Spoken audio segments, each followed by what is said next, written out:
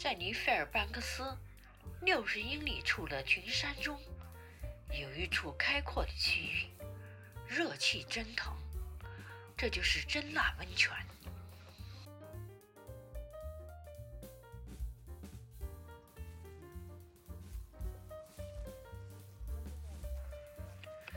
每年的秋冬季是真腊温泉的黄金季节，游人如织。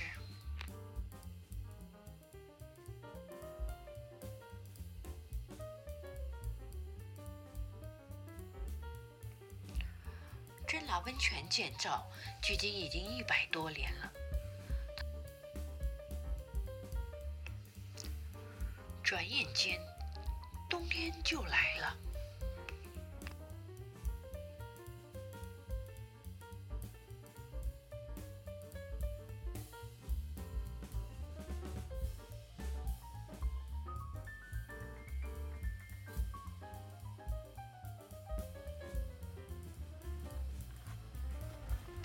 真腊温泉的小木屋，距今已经有一百多年了，是我的最爱。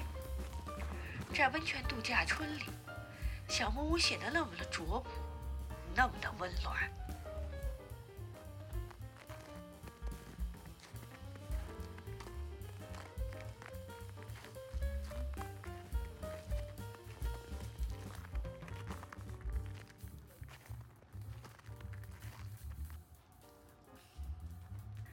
每次来真腊温泉，无论多么低的气温，我都忍不住会四处走走。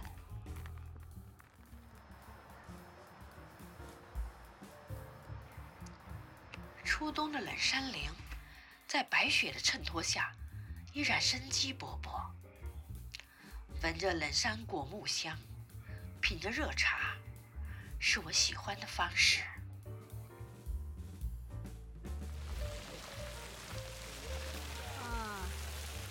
这里就是温泉的池。看着温泉池中泡汤的人们，我都觉得特别的温暖。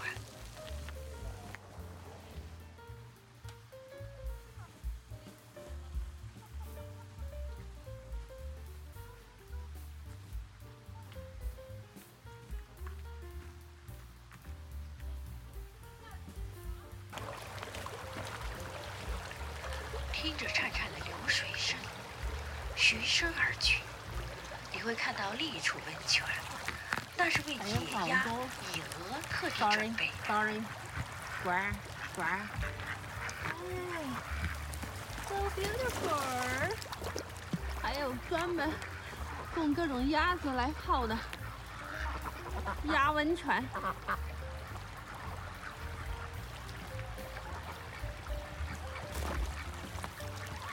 乖。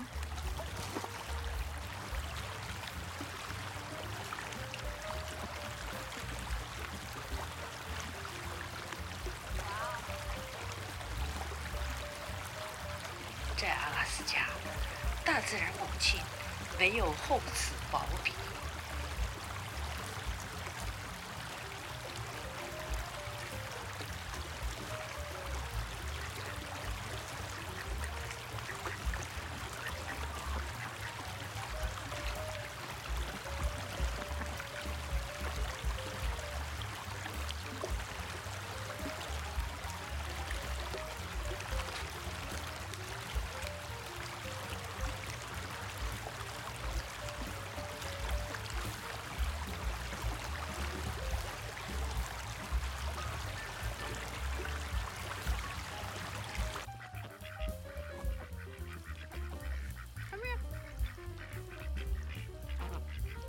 在这里，动物和人类一样，享受着大自然的回馈，温暖而自得。呱呱呱！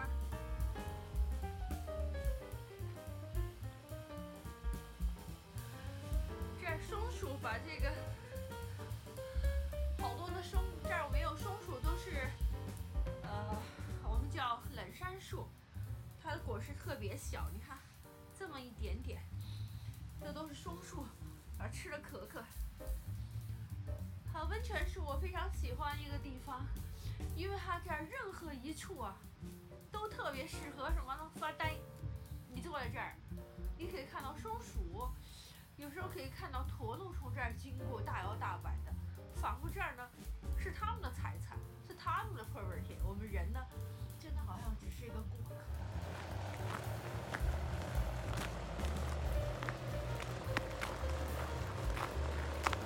这儿是他们的大棚，大棚出产，得天独厚的。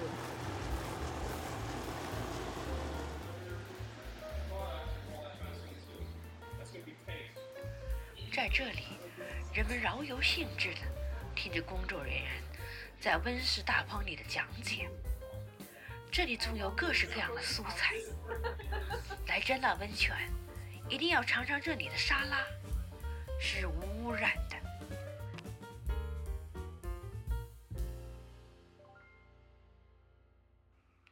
出了大棚，看到一处大大的管道正在辣味儿了。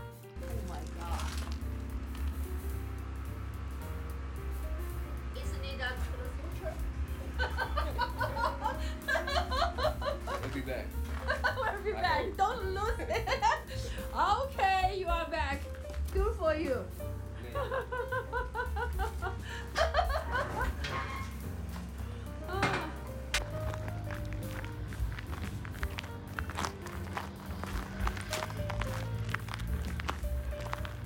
这是酒店，hotel。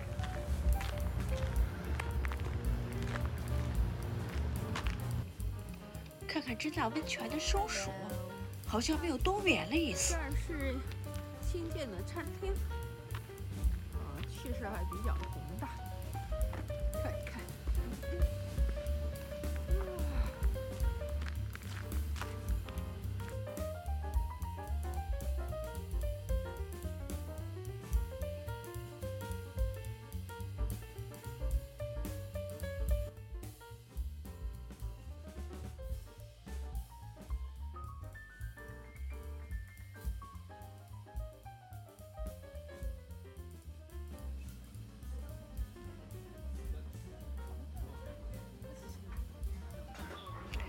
在这里，你可以点份大餐，也可以来一份简单的越南米粉，然后去泡温泉。酱油在这儿，我觉得挺咸的。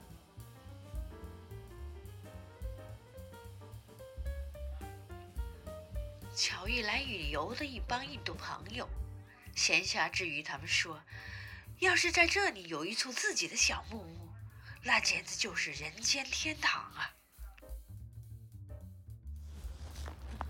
是冰雕博物馆，三百六十五天都对外开放的啊，以前来讲过。